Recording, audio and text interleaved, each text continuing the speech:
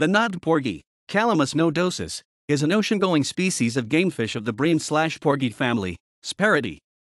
They are only found in the western portion of the tropical Atlantic Ocean, where they are often caught with trawling nets or by angling, and used as food. The knobbed porgy was named by John Randall and David Caldwell as part of a 1966 review of the genus Calamus, which was published in the academic journal Science. Randall and Caldwell also described three other species of calamus in the paper.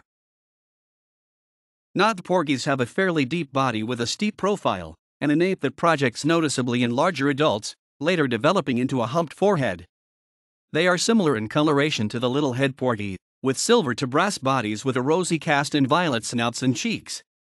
Knobbed porgies can be distinguished by blue lines present on a yellowish undercolor. The longest knobbed porgy ever caught was recorded at 54.4 centimeters, though adults on average will grow to around 35 centimeters, able to live as long as 17 years. Knobbed porgies have been recorded to weigh up to 2.63 kilograms.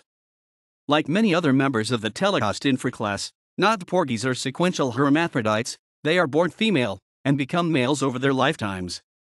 In this case, knobbed porgies experience sex change when they reach mature lengths of 30 to 50 centimeters.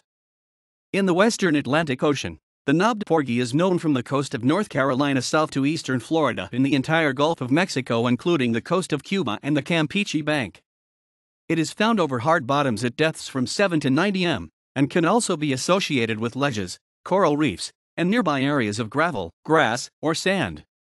Knobbed porgies are carnivorous and feed primarily on mollusks, polychaetes, crabs, and sea urchins.